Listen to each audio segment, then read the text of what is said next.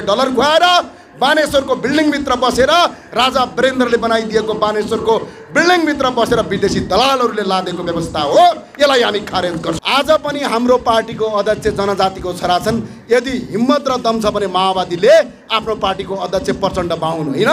जनजातिको छोरा गराएर देखाउ विदेशीको डलर खाएर धर्ममा राजनीति गर्नु हुँदैन भन्छन्।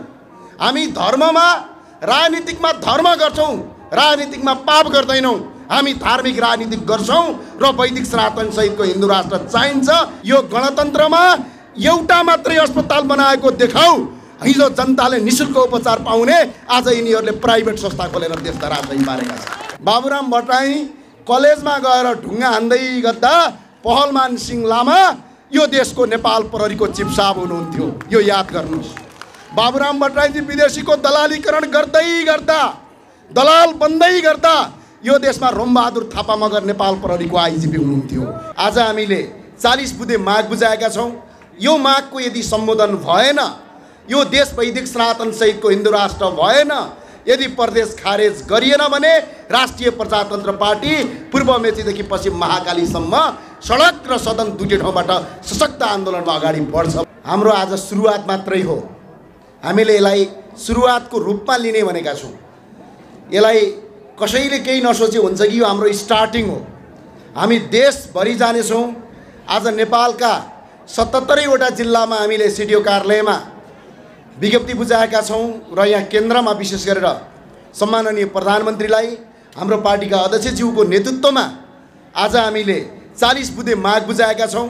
यो मागको यदि सम्बोधन भएन यो देश वैदिक सनातन सहितको हिन्दू राष्ट्र भएन यदि प्रदेश खारेज गरिएन भने राष्ट्रिय प्रजातन्त्र पार्टी पूर्व मेचीदेखि पश्चिम महाकालीसम्म सडक र सदन दुइटै ठाउँबाट सशक्त आन्दोलनमा अगाडि बढ्छ भन्ने कुराको उद्घोष गर्न चाहन्छु हामी किन गरिरहेका छौँ? हामी यो संसदीय व्यवस्थालाई ठाडो चुनौती दिइरहेका छौँ। नेपालको संविधान दुई हजार बहत्तरको धारा दुई सय चौहत्तरले हामीलाई स्पष्ट अधिकार दिएको छ।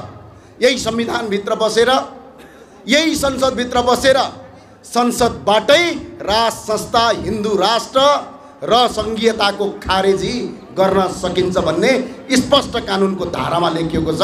हामी यसको पुनः प्रयोग गर्छौँ। अर्को कुरा आज हामी किन आन्दोलन गरिराखेका छौँ त सबभन्दा पहिलो कुरा एउटा भनाइ छ। कुनै पनि मुलुकलाई ध्वस्त पार्नका लागि हतियार दिएर सेना पठाउनु पर्दैन। त्यो देशभित्रको धर्म संस्कृति र इतिहासलाई मेटाइदिएपछि राष्ट्र खत्तम भइहाल्छ मुलुक खत्तम भइहाल्छ भन्ने एउटा महामानवको भनाइ थियो। आज हाम्रो देश त्यही भइरहेको छ। विश्वका एकासी प्रतिशत हिन्दूहरू छौँ हामी।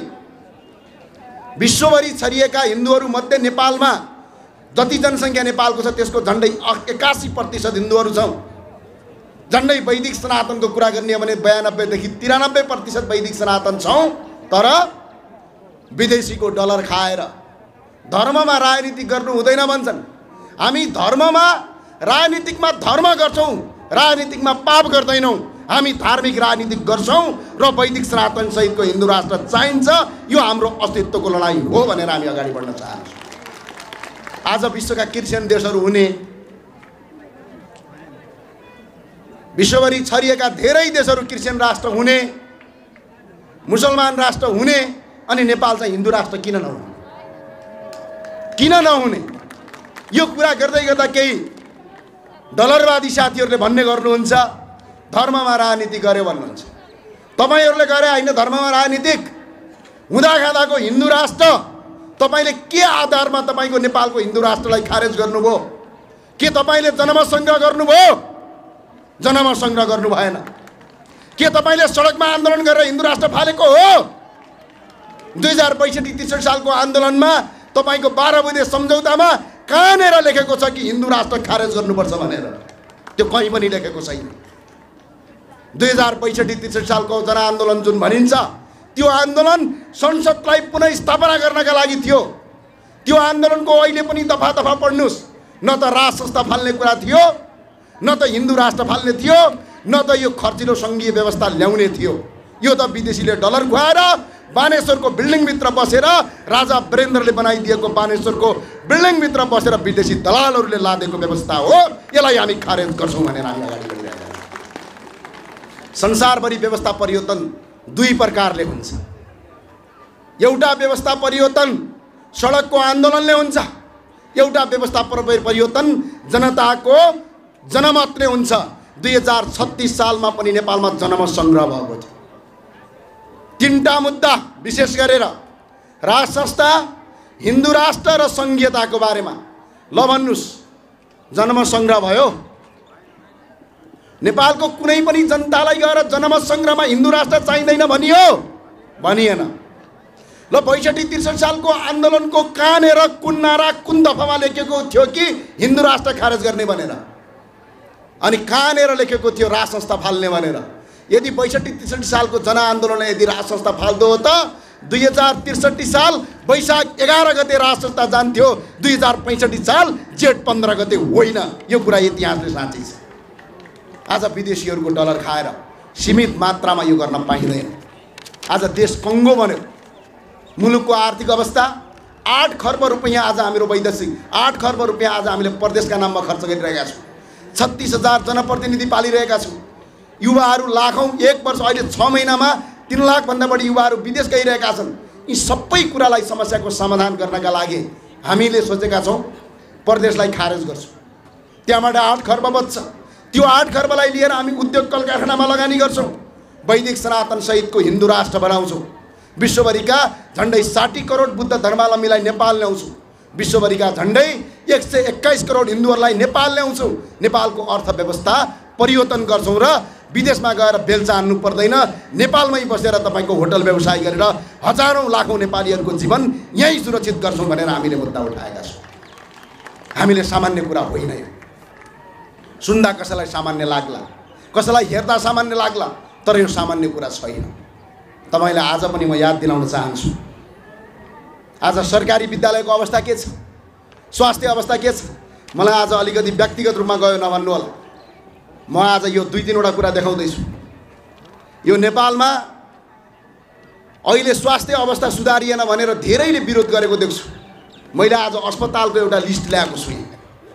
नेपालका क्षेत्रीय अस्पतालमध्ये राजाका पालामा पश्चिमाञ्चल क्षेत्रीय अस्पताल पोखरा मध्यपश्चिमाञ्चल क्षेत्रीय अस्पताल वीरेन्द्रनगर सुर्खेत पूर्वाञ्चल क्षेत्रीय अस्पताल धरान लगायत नेपालका तपाईँको आएर विकास क्षेत्रमा मात्रै अञ्चल मात्रै एघारवटा अञ्चल अस्पताल जस्तै मेची अञ्चल अस्पताल भद्रपुर कोशी अञ्चल अस्पताल विराटनगर सगरमाथा अञ्चल अस्पताल राजविराज जनकपुर अञ्चल अस्पताल जनकपुर नारायणी उपक्षेत्रीय अञ्चल अस्पताल वीरगञ्ज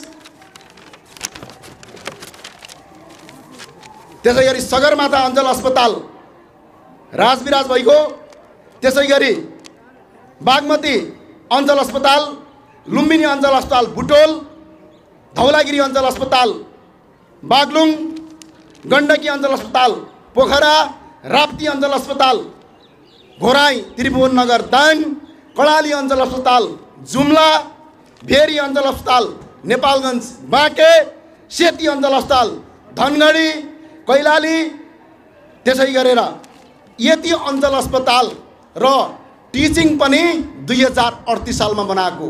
पाटन दुई हजार उन्चास सालमा उन्चालिस सालमा बनाएको। यो गणतन्त्रमा एउटा मात्रै अस्पताल बनाएको देखाऊ। हिजो जनताले नि शुल्क उपचार पाउने आज यिनीहरूले प्राइभेट संस्था खोलेर देशका राजधानी पारेका छन्। आज यो देशमा सैँतिस हजार छ सय बयानब्बेवटा तपाईँको स्कुलहरूमध्ये हिजो पञ्चायत कालदेखि राजाका पालामा तेत्तिस हजार स्कुल बनेका छन्। एउटा नयाँ स्कुल बनाएर देखाऊ। यो म उभिएको मञ्चको पछाडिको स्कुल पनि राजा होइन राणाका पालामा बनेका स्कुलहरू छन्। ल देखाउनुहोस् त एउटा। न स्वास्थ्य न त शिक्षा न रोजगारी। अब यो भनी गर्दाखेरि भन्लान् फेरि ओहो जनजाति आदिवासीका छोराछोरीलाई सत्तामा पुर्यायौँ भन्दा रहेछन् बेला बेला। म आज एउटा रिपोर्ट देखाउन चाहन्छु। सकिएन। अब यो आन्दोलनको नेतृत्व गर्ने सम्माननीय प्रधानमन्त्री प्रचण्डजी आठ वर्षको हुँदाखेरि जम्मा उहाँ आठ वर्षको हुनुहुन्थ्यो। शमशेर बहादुर तुम्बाम्फे भन्ने जनजातिको छोरा यो देशको मन्त्री भइसक्नु भएको थियो। वेदानन्द झा मन्त्री भइसक्नु भएको थियो। प्रचण्डजी बिसदेखि पच्चिस वर्षको हुँदा हिरालाल विश्वकर्मा बुद्धिमान तामाङ मरिजमान सिंह यो देशको मन्त्री भइसकेका थिए।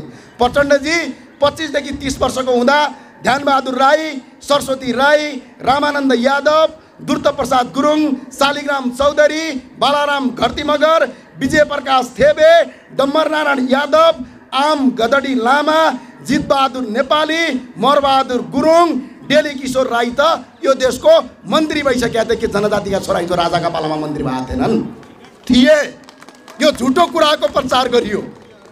अर्को प्रचण्डजी भर्खर तिसदेखि चालिसको हुँदाखेरि नेपालको इतिहासमा पहिलोपटक जनजातिको छोरा मरिजमाङ सिंह श्रेष्ठ यो देशको प्रधानमन्त्री हुनुहुन्थ्यो त्यति मात्र होइन मरिजमाङ सिंह श्रेष्ठ प्रधानमन्त्री फतेमान सिंह थारू मन्त्री स्वयं प्रचण्डजीले जहाँबाट निर्वाचन लड्नुभयो चितवनबाट चितवनबाटै दलितको छोरा ऋषि बाबु परिवार राष्ट्रिय सभाको सदस्य हुनुहुन्थ्यो अनि के दलित त्यतिखेर सत्तामा थिएनन् यस्तो झुटो कुरा गर्न पाइँदैन भन्ने कुरा मलाई लाग्छ त्यो भएको हुनाले अब बाबुराम भट्टराईजीले भन्ने हुन्छ बेला बेला जनजातिका छोराछोरीहरू सेना पुलिसमा त सिपाही मात्रै थिए भनेर झुटो कुरा गर्नुहुन्छ।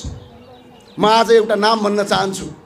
बाबुराम भट्टराई कलेजमा गएर ढुङ्गा हान्दै गर्दा पहलमान सिंह लामा यो देशको नेपाल प्रहरीको चिफ हुनुहुन्थ्यो। यो याद गर्नुहोस्। बाबुराम भट्टराईजी विदेशीको दलालीकरण गर्दै गर्दा दलाल बन्दै गर्दा यो देशमा रोमबहादुर थापा मगर नेपाल प्रहरीको आइजिपी हुनुहुन्थ्यो। यो कुरा याद राख।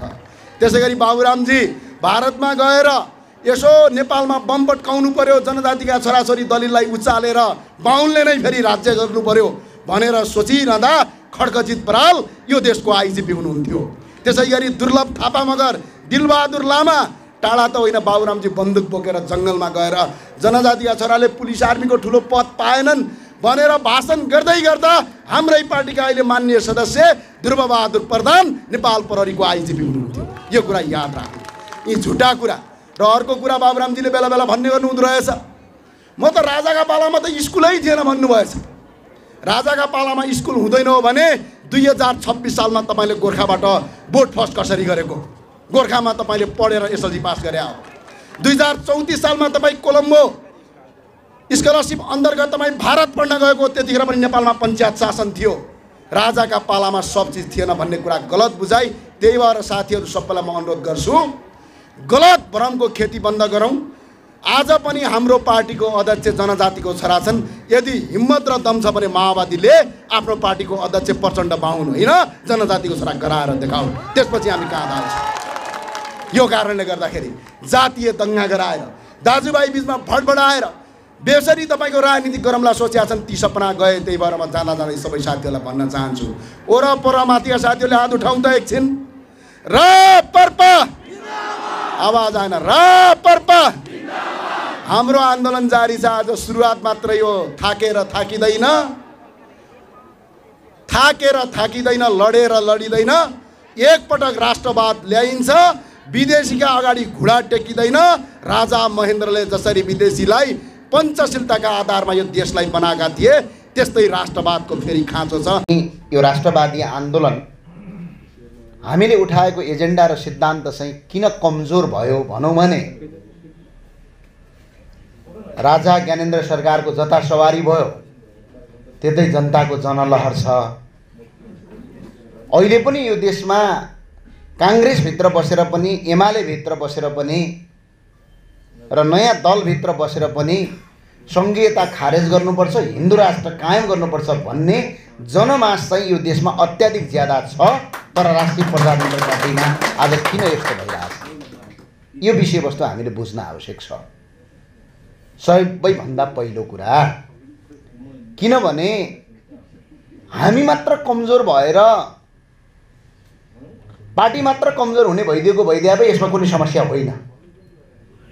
तर हाम्रो सिद्धान्त कमजोर हुँदै यदि गयो र सिद्धान्त कमजोर बन्नु भयो भने यो मुलुक कमजोर हुन्छ यो देश धराशयी हुन्छ भन्ने कुरा ज्वलन्त अहिले उदाहरण छ। बहुमत ल्याएको नेकपा यहाँभन्दा अगाडि बहुमत ल्याएको नेकपाले पनि देश लुट्यो। अहिलेको तपाईँको बत्तिस सिटे माओवादीले पनि देश लुट्यो र नयाँ आएको केही हामी यदि सिद्धान्त सही भएन यदि देशको व्यवस्था सही भएन भने हामी जति नयाँ आए पनि एउटा चुनाव जित्ने सांसद बन्ने यसो पाइदियो भने गृहमन्त्री मन्त्री पट्काइहाल्ने अनि त्यसपछि चुप लाएर बस्ने अनि देश विकास हुँदैन हामीले किन सङ्घर्ष गर्ने? आज तपाईँ सम्झिनुहोस् आज को छ यो देशमा सुरक्षित? एकछिन सुरक्षित देखाइदिनुहोस् ल। आज विद्यार्थी सुरक्षित छ? यदि यो देशमा विद्यार्थी सुरक्षित हुँदो हो त आज हरेक दिन तपाईँको हरेक वर्ष नेपालबाट झन्डै लाखौँ विद्यार्थी अर्काको देशमा पढ्न किन जान्छ? यदि कर्मचारी सुरक्षित हुँदो त आज माइतीघर मण्डलमा आन्दोलन किन गरिराखेका छ? यदि शिक्षक सुरक्षित हो भने आज माइतीघर मण्डलमा टाउको भुटाली भुटाली विद्यालयमा पढाउनु पर्ने शिक्षक माइतीघरमा आन्दोलन किन गरिरहेछ? यदि व्यापारी सुरक्षित हुँदो भने आज पचास पर्सेन्टभन्दा बढी सटरहरू बन्द भइसके अधिकांश व्यापारीहरूले झुन्डिएर आत्महत्या गरिरहेका छन् अनि मुलुक तपाईँको यो अवस्थामा छ।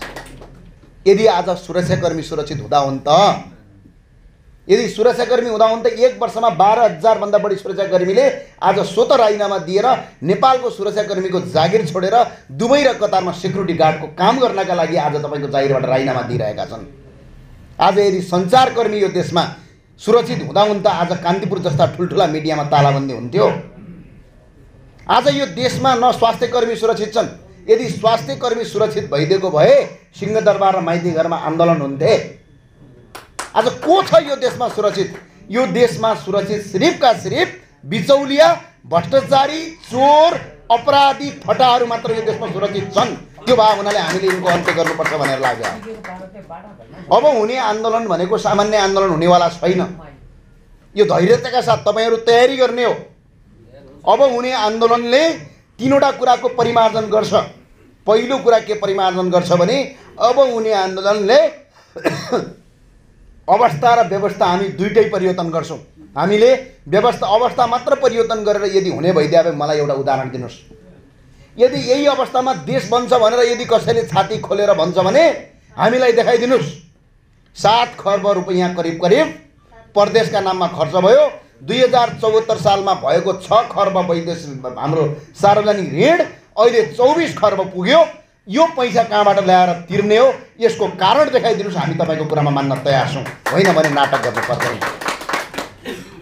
यहाँ त कसो भयो भने अमेरिकनहरूले पहिला माओवादी समाउने च्याप्पै पारेर हतियार सतियार सब किनिदिए। हुँदा सेटेलाइट फोन त स्विडेनको रहेछ।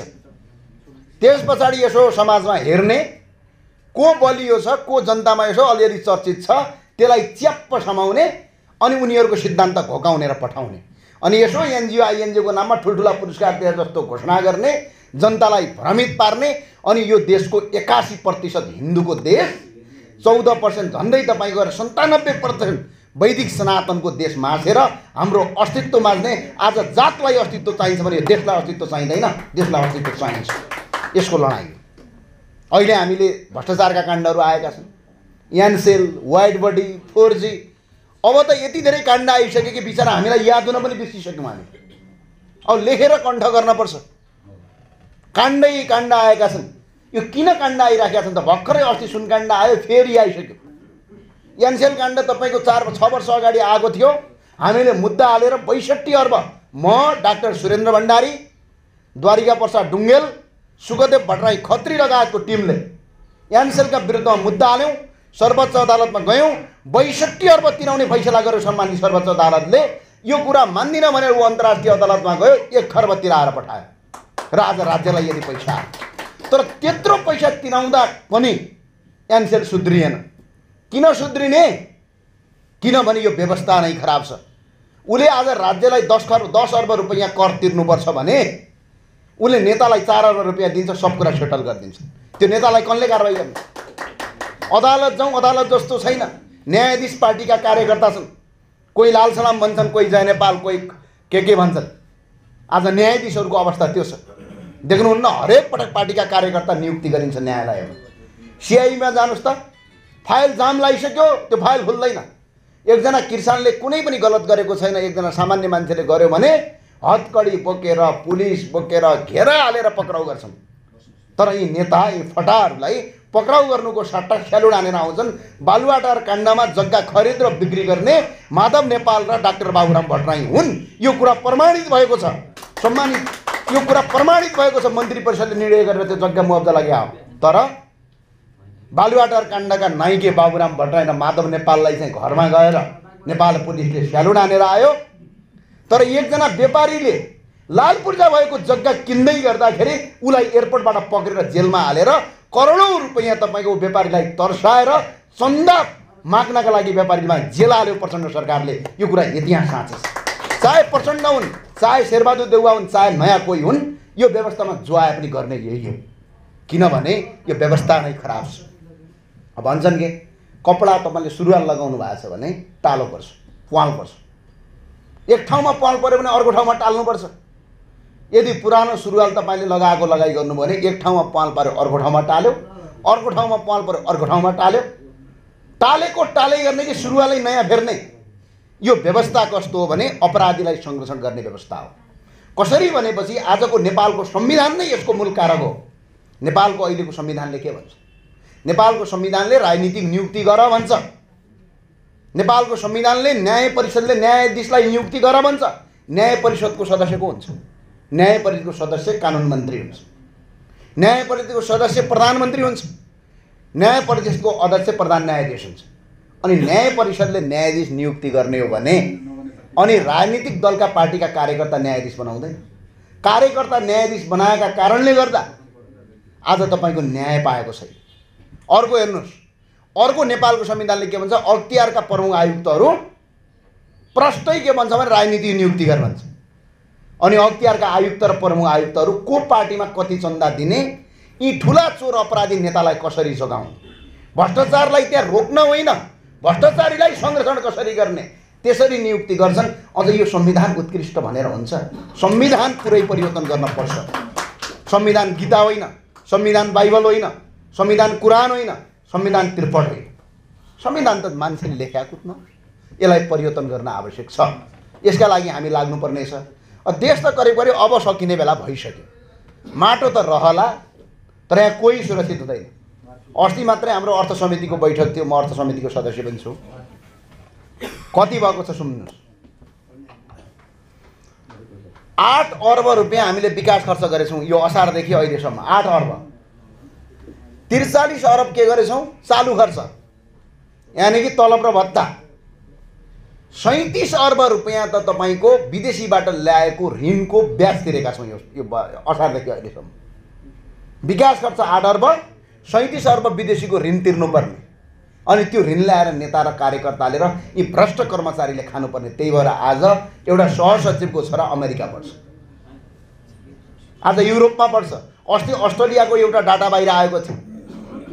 अस्ट विश्वका दसवटा ठुला देशहरूमध्ये नेपालबाट गएका मान्छेहरूको आठ नम्बर पोजिसनमा नाम छ। अस्ट्रेलियामा सबभन्दा बढी घर जग्गा किन्ने। तर कसले किन्ने? अस्ट्रेलियामा रहेका नेपाली ना अस्ट्रेलियाको जो नागरिक भए तिनीहरूले होइन। नेपालबाट अस्ट्रेलिया पढ्न गएका विद्यार्थीले किन्ने गर जो विद्यार्थी त्यहाँ तलब खान नपाएर जागिर खान नपाएर तडपिएका छन् तिनको पैसा कहाँबाट आयो भने यी नेताका छोराछोरी अस्ट्रेलिया छन्। अनि यिनीहरूले चाहिँ तपाईँको नेपालबाट पैसा हुन्डीको मार्फत हुन्छ कि के को मार्फत? भ्रष्टाचार उतै गर्ने उतै जग्गामा सेटल गर्ने। मैले त्यतिखेर अस्ट्रेलिया भ्रमण जाँदाखेरि भनेको थिएँ यहाँ चाहिँ तपाईँको घर जग्गा कारोबारमा सबभन्दा बढी अहिले नेताका छोराछोरी लागेका छन्। स्वयं प्रचण्डजीको अहिले सल्लाहकार अस्ट्रेलियाको सरसफाइ कर्मचारीलाई प्रधानमन्त्रीले सल्लाहकार नियुक्ति गरेका छन्। कारण किनभने पैसा भ्रष्टाचारको पैसा अस्ट्रेलिया लुकाउनका लागि अरू केही पनि। यो किसिमको अवस्था छ। आज तपाईँ जानुहोस् त प्रधानमन्त्रीको सल्लाहकार एकजना छन् को मैले नाम भनिनँ। तपाईँ आफै पत्ता लगाउनुहोस् अस्ट्रेलियामा सडकमा सरसफाइ गर्ने मान्छे अहिले प्रधानमन्त्रीको सल्लाहकार छ केका लागि गरिएको भने नेपालबाट गरेको कालो धन भ्रष्टाचारको धन नेपालमा लुकायो भने त अब राम्रो हुँदैन। यसलाई अस्ट्रेलिया लगेर राख्नु पऱ्यो भन्यो। हिजो अस्ट्रेलिया सरकारले भर्खरै एउटा तपाईँको वेबसाइटमा आफ्नो घर जग्गा कारोबार सार्वजनिक गर्दा आठ अर्ब रुपियाँमा नेपालीहरूले घर जग्गा अस्ट्रेलियामा किनेछ नेपालीले त्यहाँ अस्ट्रेलियामा काम गर्न गएका मान्छे होइनन्। काम गर्न गएका मान्छे त त्यहाँबाट काम गरून् पैसा कमाउन् त्यो समस्या होइन। तर को भने जो त्यहाँ काम नगरेका नेपालीहरू।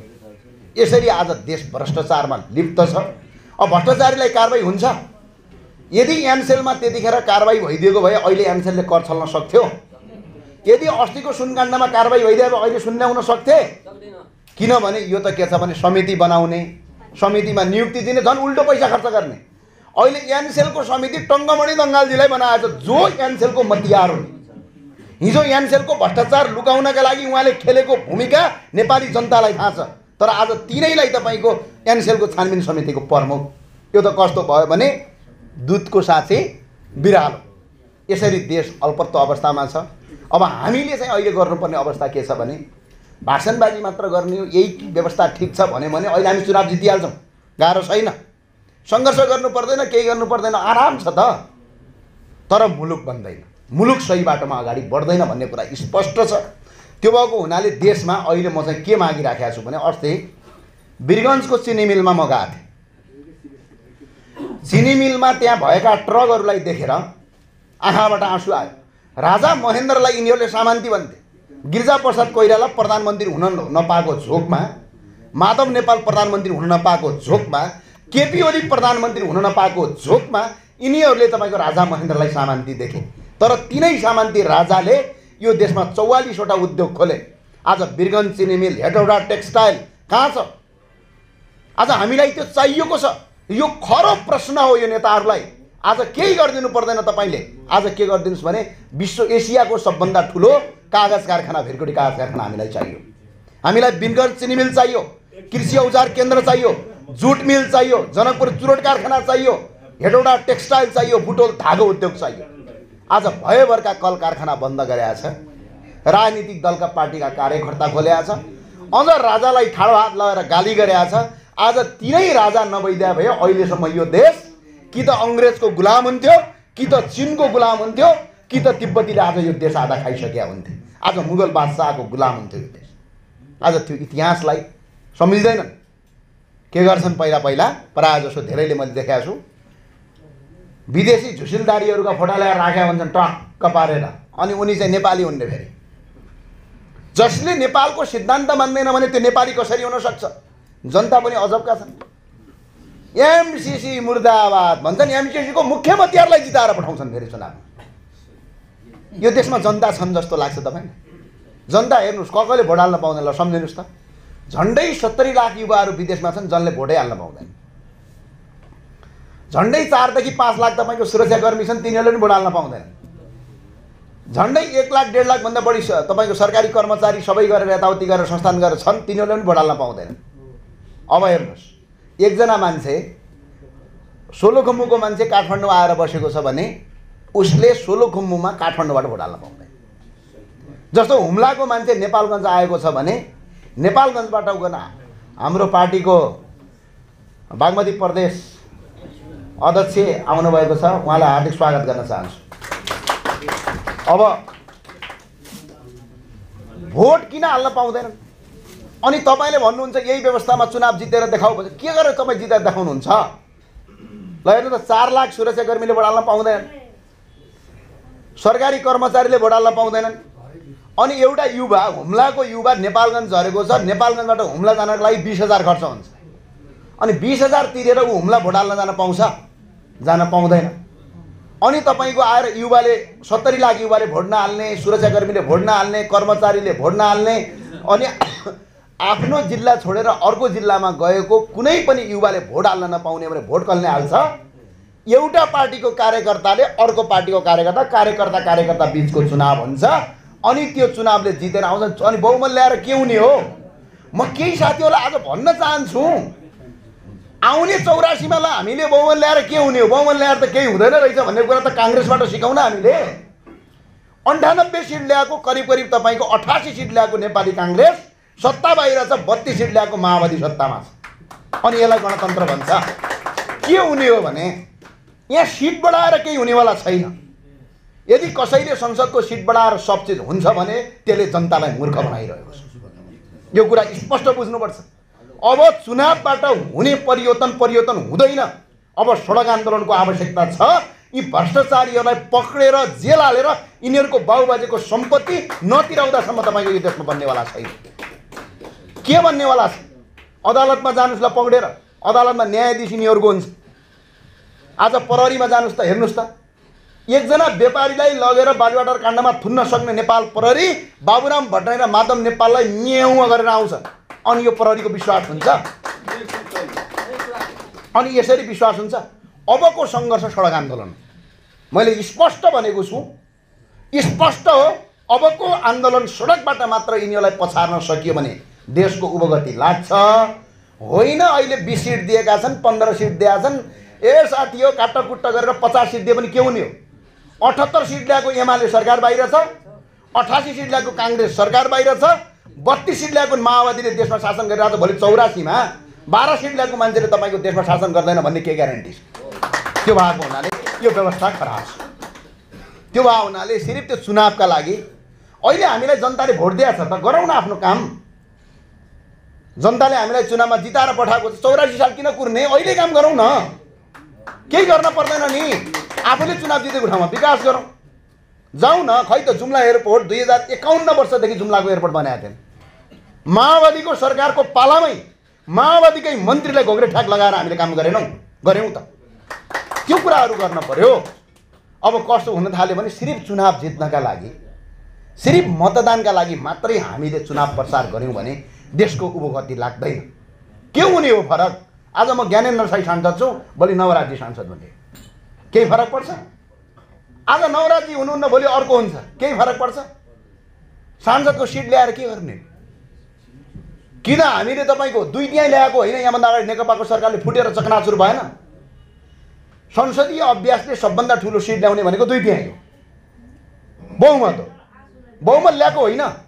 केपी शर्मा ओली र प्रचण्ड एक ठाउँमा हुँदाखेरि बहुमत ल्याएको होइन। देश सबभन्दा बढी कङ्गाल त्यतिखेर भएन। अनि बहुमत ल्याएर के हुने हो? ल अहिले तपाईँको फेरि साथीहरूले के भन्नु होला भनेपछि ओहो चुनाव के परिवर्तन हुन्छ सिर्फ व्यक्ति परिवर्तन होला सिट परिवर्तन होला। तर देशको आमूल जनताको भविष्य परिवर्तन हुँदैन। त्यो भएको हुनाले अबको सङ्घर्ष भनेको सडक आन्दोलन हो। सडक आन्दोलनबाट यिनीहरूलाई प्रकाश त नगरिकन अवस्था र व्यवस्था दुइटै परिवर्तन नगरिकन मुलुक अगाडि बढ्दैन। यो कुरा तपाईँले ढुक्कका साथ राख्नुपर्छ तयारी गर्न पर्यो। तयारी गर्न पर्यो। जो जसले तयारी गर्नु भएको छैन तयारी गर्न पर्यो। तयारीका साथ अगाडि बढ्न पर्यो। र मुलुकलाई समृद्धिको बाटोमा अगाडि लडाउने अब कसरी गर्नुहुन्छ तपाईँले भन्नु होला फेरि। कसरी गर्ने तरिका छ? अहिले हामीले प्रदेश मात्रै खारेज गर्न सक्यौँ भने प्रदेश मात्रै यदि हामीले खारेज गर्न सक्यौँ भने हाम्रो वार्षिक डेढ खर्बदेखि दुई खर्ब रुपियाँ बच्छ। डेढ खर्बदेखि दुई खर्ब रुपियाँमा हामीले हस्पिटल कर्मचारीको तलब दोब्बर गर्न सक्छौँ हस्पिटल बनाउन सक्छौँ सडक बनाउन सक्छौँ। यो प्रदेशका नाममा गएको पैसा हामी विकास खर्च गर्न सक्छौँ यसले विकास गर्छ। अब प्रदेश मान्ने रे अनि हामी नयाँ हो भनेर हुन्छ। अनि विश्वभरि आज तपाईँको चौहत्तर प्रतिशत क्रिस्चियन भएको देश चाहिँ क्रिस्चियन राष्ट्र हुने एकासी प्रतिशत हिन्दू भएको देश हिन्दू राष्ट्र नहुने। हुने कि नहुने। अनि आज राईले आफ्नो पहिचान खोज्ने ठकुरीले आफ्नो पहिचान खोज्ने मगरले आफ्नो पहिचान खोज्ने नेवारले आफ्नो पहिचान खोज्ने विभिन्न जात जातिले आफ्नो पहिचान खोज्दाखेरि यो देशको पहिचान चाहियो कि चाहिएन? यो देशको पहिचान हिन्दू राष्ट्र हो। हामीले यो पहिचानको विरुद्धमा अहिले आन्दोलन। अब पहिचान माग्ने बेला भयो। मैले अहिले पनि याद दिलाएँ कतिपय साथीहरूलाई थाहा छ कि छैन। अब हाम्रा नेताजीहरूलाई त थाहा होला।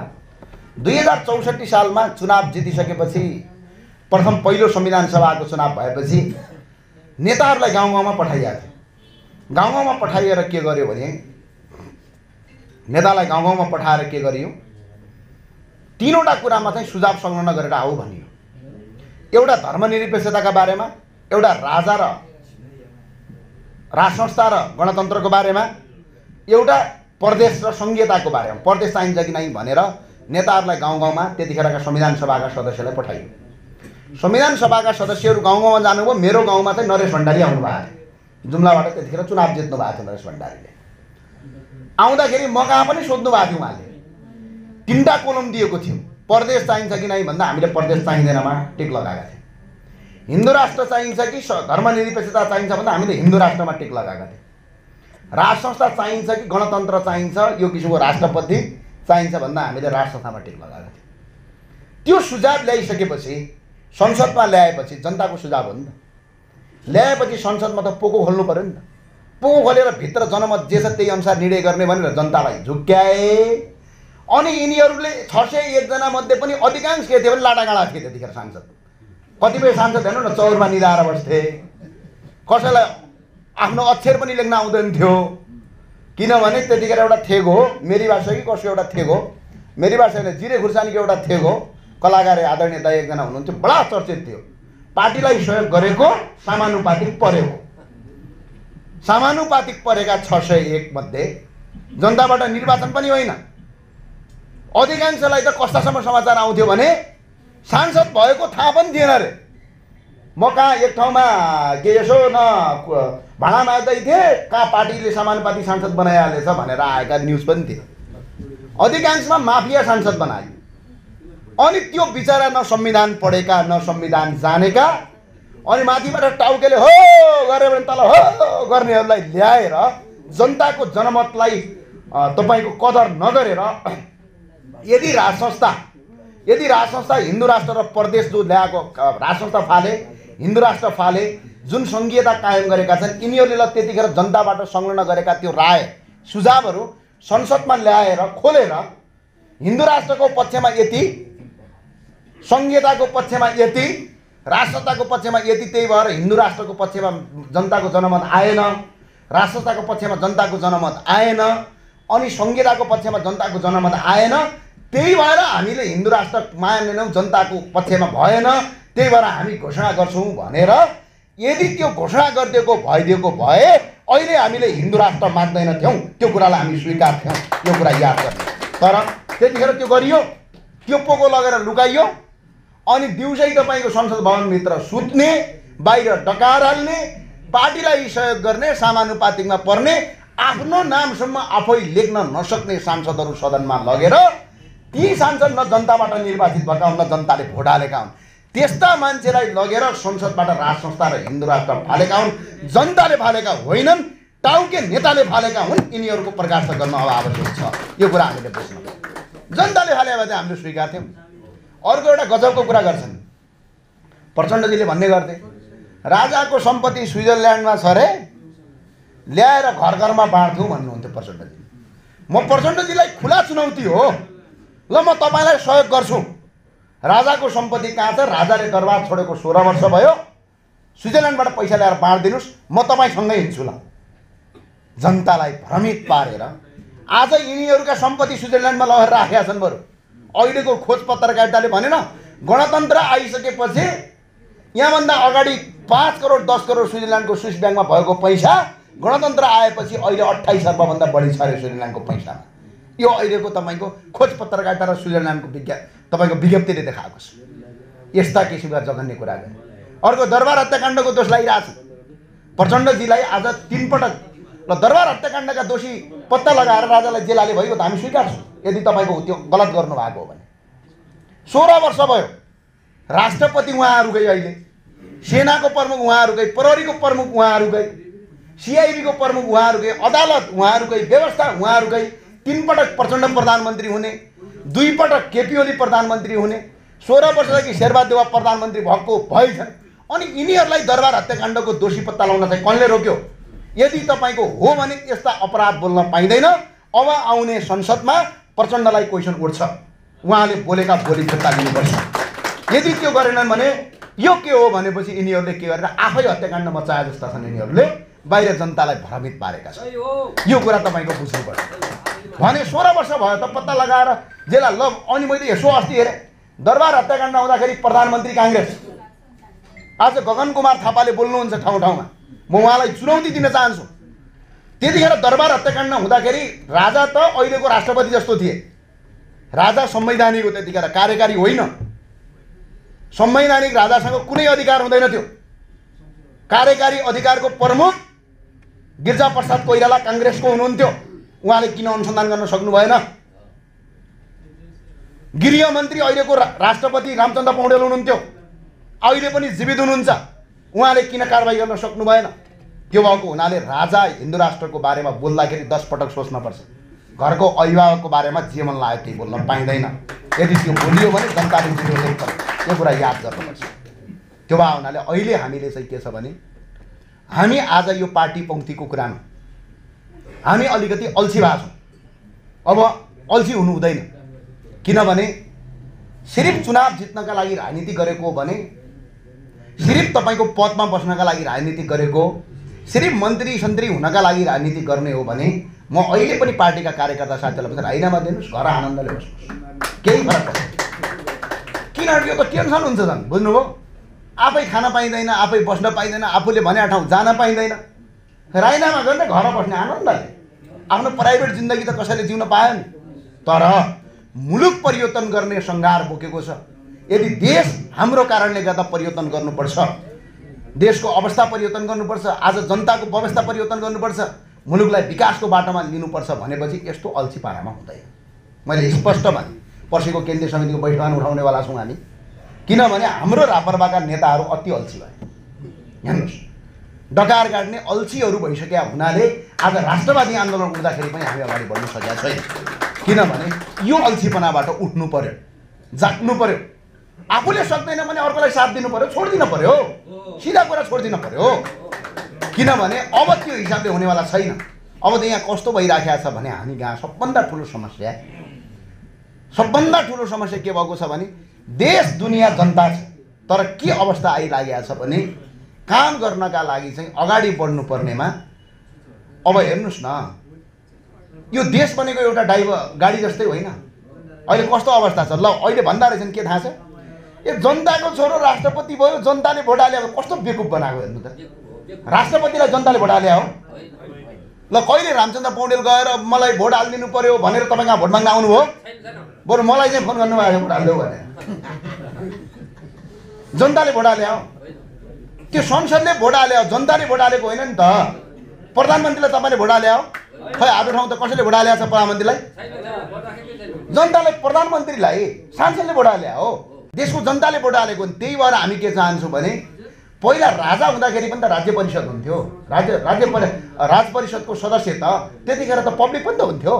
अहिले पनि कयौँ राज परिषदका सदस्यहरू भेट्छौँ अहिले बाटोमा पूर्व राज परिषदका सदस्यहरू। हो त्यस्तै राजा नियुक्ति गर्दाखेरि पनि राज नियुक्ति गर्ने हो। राष्ट्रपति नियुक्ति गर्दाखेरि अहिले जनताले भोट आउँदा अनि यसलाई गणतन्त्र भन्न मिल्छ। देशको प्रधानमन्त्री प्रत्यक्ष रापरवाको पहिलो सिद्धान्त जनताबाट प्रत्यक्ष निर्वाचित कार्यकारी प्रधानमन्त्री गणतन्त्रको उत्तम व्यवस्था। आफ्नो देशको कार्यकारी जनताले भोट हालेर चुन्ने। र यो मुलुकको समृद्धिका लागि राष्ट्रिय एकताका लागि र भौगोलिक अखण्डताका लागि र धर्म सापेक्ष र धर्म संस्कारको बचाउका लागि र राष्ट्रिय एकता लागि र अन्तर्राष्ट्रिय जगतमा राष्ट्रिय सुरक्षाका लागि राज संस्था आवश्यक छ संवैधानिक राज संस्था। त्यो पक्षमा हामी। अर्को प्रदेश खारेज गर्ने लाइनमा छौँ हामी। र अर्को कुरा भनेको तपाईँ सबैले के कुरा गर्नु आवश्यक छ भने अब हेर्नुहोस् संसदमा बोलेर पनि हुनेवाला केही छैन। किनभने निदाको मान्छेलाई पो बोल्न सकिन्छ त। उठाउन सकिन्छ। निदाको नाटक गरेर कसरी उठाउन सकिन्छ? आज त्यो भएको हुनाले संसदबाट अब आवाज उठाएर मलाई चौरासी सालमा यति भोट देऊ भनेर के हुने हो? ल अहिले हामी चौध सिट छ रे। धेरै मिहिनेत लास्टै दुःख गऱ्यौँ भने साठी सिट ल्याउँला ल पर अठासी सिट ल्याए काङ्ग्रेस त सरकार बाहिर छ। ल के छ अहिले चौधजना सांसद भएको छ भोलि अरू साथीहरू लिएर जाउँला टन्नै यसो संसद हलको कुर्सी भरिने मात्रै काम थियो कुर्सी भरिने हो। यदि तपाईँको बहुमतका आधारमा यो देशमा शासन हुने भइदिया भए यो देशको अठासी सिट ल्याएको काङ्ग्रेस अठहत्तर सिट ल्याएको एमाले सरकार बाहिर छ बत्तिस सिट ल्याएको माओवादी सरकारमा छैन अनि चौरासीमा सिट ल्याएर के हुने हो? चौरासीमा त चुनाव नै हुँदैन व्यवस्था परिवर्तनको आन्दोलन हुन्छ यो कुरा याद गर्न पर्यो। किनभने जनताबाट निर्वाचित कार्यकारी प्रधानमन्त्रीको लाइनमा जान्छ प्रदेश खारेजको लाइनमा जान्छ। हिन्दू राष्ट्र र राज संस्थाको पक्षमा जनमास जान्छ चौरासीभित्र। त्यो चुनाव हुनेवाला छैन चौरासी। चुनाव गरेर के गर्नुहुन्छ? के गर्नुहुन्छ? सिट ल्याएर के गर्नुहुन्छ? उहिँदै संसद भवनभित्र गएर हो भन्ने हो गर्नलाई होइन। के काम छ? खै त अहिले काङ्ग्रेसको मैले फेरि पनि दोहोऱ्याएँ अठासी छ नि त। पर शेरबहादुर देवा आउँछन् हो गर्छ एउटाले हो गर्छ बस त्यसैको लागि बनायो। के फरक पर्छ त्यो भएको हुनाले सिर्फ चुनाव लक्षित राजनीति गर्न हुँदैन। यदि चुनाव लक्षित राजनीति गर्ने भने घर व्यवसाय गर्ने। राइनामा दिने घर बस्ने थचक्क पारेर। अहिले तपाईँले व्यवसाय गर्नु भनेको आज देश सकिसक्यो मुलुक टाट पल्टिसक्यो यतातिर ध्यान छैन। ध्यान भनेर सिर्फ मैले चुनाव जितेर यति सिट ल्याउँछु उति सिट ल्याउँछु। के हुने हो? ल अहिले यो देश पुरै सकियोस् ल। म अहिलेका तपाईँको यो अहिलेका जति पनि यो नेपालभरिका स्थानीय तहका सरकार प्रमुखलाई ल केन्द्रीय सरकारले पैसा नपठाओस् त। ल विकास गरेर देखाउ त। केन्द्रीय सरकारले हरेक नगरपालिकामा पैसा दिन्छ त्यो पैसा केन्द्रीय सरकारले नदिएर आफ्नै स्रोतबाट चलेर देखाउ त। के छ हौ तपाईँको स्थानीय तहमा? एउटा चाउचाउ पसलबाट तपाईँले कर उठाएर अनि स्थानीय सरकार चल्छ। एउटा चिया पसलबाट तपाईँको कर उठाएर स्थानीय सरकार चल्छ। कुनै फ्याक्ट्री छ। कुनै उत्पादन गर्ने ठाउँ छ।